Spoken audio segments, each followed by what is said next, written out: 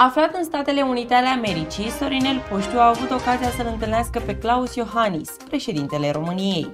S-au fotografiat împreună, iar artistul a încărcat imaginea pe rețelele de socializare, acolo unde a strâns numeroase aprecieri, dar și comentarii din partea prietenilor virtuali.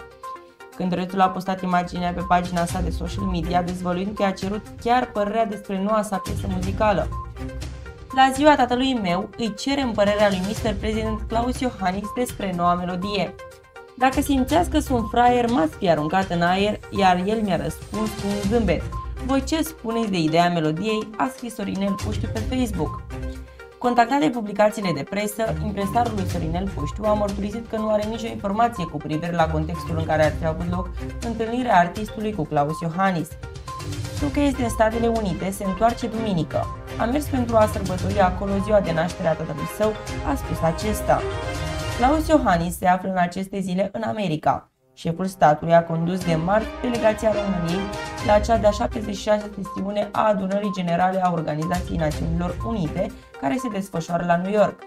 Președintele României a zburat în Statele Unite ale Americii cu un avion de lux închiriat special pentru vizita în New York.